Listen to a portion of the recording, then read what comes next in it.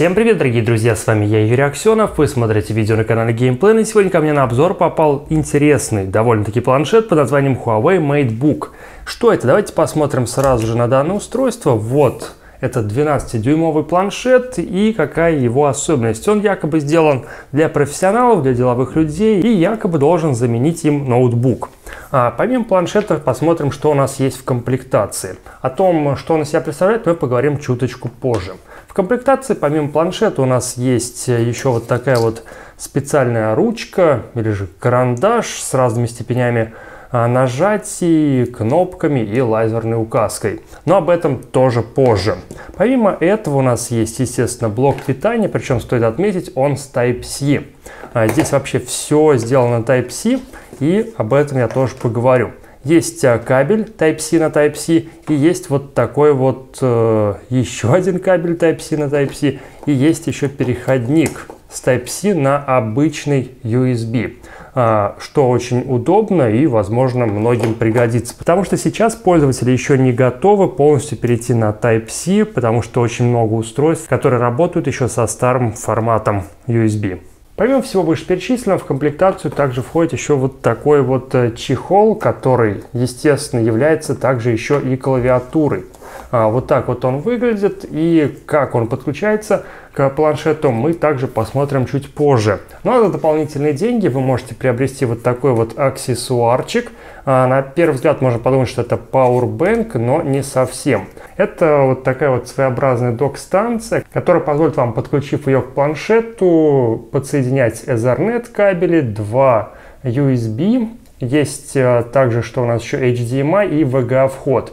Также вот этот вот кабель, если мы вытащим, то мы заметим здесь еще Type-C разъем, который также вы сможете использовать. Устройство, как я уже и сказал, представляет из себя 12-дюймовый планшет. Разрешение экрана здесь составляет 2160 на 1440. Давайте поговорим обо всех э, особенностях, которые имеются у нас в корпусе.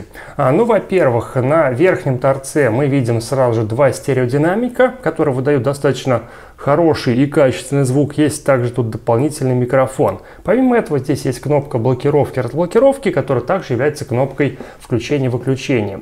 На правом торце у нас есть качелька регулировки громкости, между которой есть сканер отпечатков пальцев, который позволит вам разблокировать э, свой планшет с помощью прикосновения, ну а также обезопасить себя от э, других людей, которые захотят попользоваться вашим гаджетом. Также здесь есть Type-C, который выполняет роль э, зарядки и также роль подключения сюда различных аксессуаров, в том числе док-станция, о которой я вам говорил. И опять-таки здесь мы можем обнаружить дополнительный микрофон. Нижний торец э, у нас есть э, вот такой вот 7-пиновый разъем для подключения его к чехлу клавиатуре. На правой стороне у нас есть 3,5 мини-джек разъем и еще один дополнительный микрофон. На задней стороне у нас абсолютно ничего нет, кроме логотипчика Huawei, а также логотипчика Intel и Windows. На лицевой стороне мы также можем видеть 5-мегапиксельную камеру, которая отлично справляется с функцией видеозвонков. Устройство работает на Windows 10, а технические характеристики могут разниться в зависимости от версии. Конкретно у меня на обзоре находится версия с процессором Intel Core M5, есть также версии с M3 и то же самое касается оперативной памяти. У меня версия с 8 гигабайтами, а есть также еще и с 4. А в качестве графического ускорителя здесь используется Intel HD Graphics 515, а объем встроенной памяти также разнится от 128 гигабайт до 256, как у меня. Устройство работает шустренько, никаких проблем со стандартными повседневными задачами здесь не возникает. Можно работать как а, при помощи клавиатуры и тачпада, который здесь а, также присутствует, как с помощью стилуса, так и с помощью пальцев, э, каких-либо подлагиваний здесь я не наблюдал. И также при особом желании здесь, в принципе, можно запустить не сильно требовательные игрушки и поиграть в них. Особенно это, наверное, касается каких-нибудь стареньких и ретро-игр, которые заставят вас поностальгировать и позволят вам скоротать время в вашей далекой поездке. Я вам обещал подробнее поговорить о стилусе. Стилус здесь действительно интересный, чем-то он, возможно, напомнит вам стилус от Apple, и давайте посмотрим на него подробнее. Я уже вам говорил, что здесь здесь есть кнопка для лазерной указки. Это вам что позволит? Это позволит вам проводить презентации и, соответственно, показывать на проекторе те или иные элементы. А также здесь есть две кнопки. Они в основном отвечают за переключение между слайдами, но в некоторых программах они также работают и позволят вам, например, быстренько что-нибудь подтереть. Ну, собственно, давайте попробуем нарисовать что-нибудь, и я вам покажу, как это работает.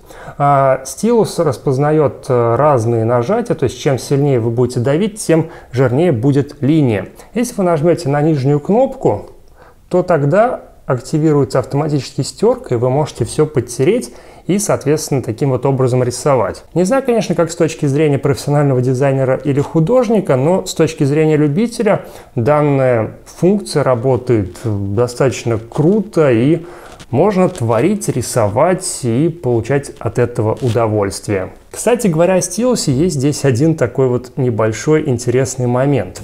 Он заряжается по микро-USB. Да, здесь есть переходник в комплекте, но все-таки странно, то что все, все здесь полностью задействовано, включая зарядник, используется Type-C, а здесь старый любимый микро-USB. Делая вывод, я хочу отметить, что устройство достаточно нишевое и подойдет, наверное, скорее людям, занимающимся бизнесом и имеющим частые перелеты на различные встречи, конференции и презентации. Обычному же пользователю данное устройство будет, наверное, как максимум только интересно. С точки зрения, наверное, полноты использования, оно не совсем вам заменит какой-нибудь компактный маленький планшет и не совсем заменит вам компьютер или ноутбук, потому что все-таки ноутбук и компьютер будут обладать более мощной производительностью. Здесь же мы видим устройство, которое создано специально для деловых людей, имеющим большое количество командировок и которые не хотят сильно перегружать себя техникой. А делая вывод, я скажу, что первый опыт Huawei в создании таких планшетов весьма меня удивил, наверное, и поразил. Я рад, что Huawei начала делать что-то новое, кроме смартфонов и планшетов, а, но вот э, из минусов, что я могу отметить, а вот этот вот чехол, он, да, круто выглядит, э, круто реализован, но есть у него небольшой маленький минус. Он очень часто закрывается. То есть от малейшего там какого-нибудь э, соприкосновения или тряски, он очень легко может вот так уехать, и ваш планшет может вот так вот грохнуться, и это может доставить небольшой ряд неудобств. И перед тем, наверное, как попрощаться, я хочу пожелать Huawei дальнейших успехов в развитии своей техники и покорения новых горизонтов. Ну а с вами я прощаюсь. Всем пока и до скорого!